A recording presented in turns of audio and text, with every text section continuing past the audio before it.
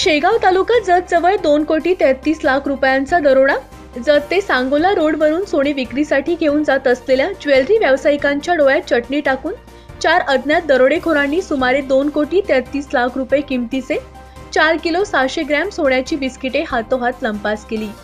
ही घटना गुरुवारी रात्री एक वाजण्याच्या दरम्यान जत शहरापासून दोन किलोमीटर अंतरावरील माळी वस्ती येथे घडली आहे.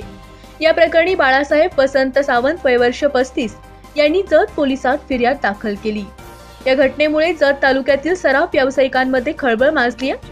याबाबतची अधिक माहिती अशी बाळासाहेब सावंत अन्य एक जण सहकारी घेऊन गुरुवारी सायंकाळी बेळगाव कर्नाटक येथून चोवीस कॅरेट सोन्याची बिस्किटे कापडी बॅगेत घेऊन चारचाकी इनोवा गाडीतून शेगाव तालुका जत येथील सराव व्यापारी संजय नलवडे यांना देण्यासाठी येत होते.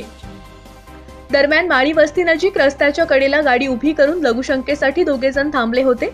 त्यांच्या पाठीमागून पांढऱ्या रंगाच्या ओमनी गाडीतून तोंडावर कापड बांधून आलेल्या अज्ञात तीस ते पस्तीस वयोगटातील चार संशयित दरोडेखोरांनी अचानक सावंत आणि सहकार्याच्या डोळ्यात चटणी टाकून त्यांना बेदम मारहाण करण्यास सुरुवात केली. यावेळी त्यांनी आरडाओरडा करून रस्त्यावरून एजा करणाऱ्या वाहनांना हात करून थांबवण्याची विनंती केली. तोपर्यंत गाडीतील दोन कोटी तेहतीस लाख तेरा हजार पाचशे रुपये किमतीचे सोने घेऊन जत शहराच्या दिशेने त्यांनी पलायन केले.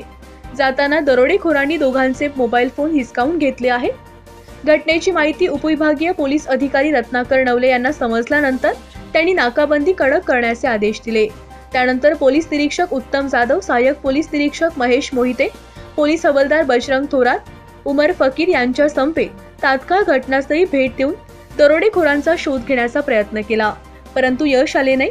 या प्रकरणाच्या तपासासाठी बेळगाव आणि आटपाडी येथे पोलीस पथक पाठवण्यात आले आहे.